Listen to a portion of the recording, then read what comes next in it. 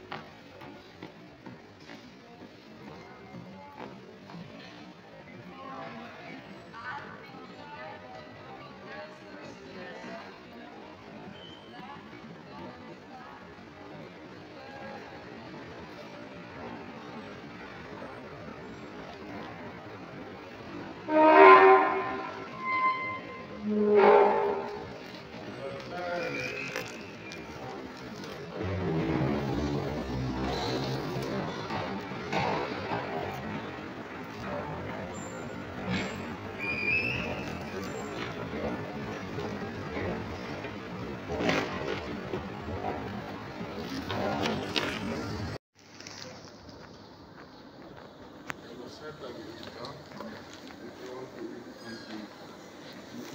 you.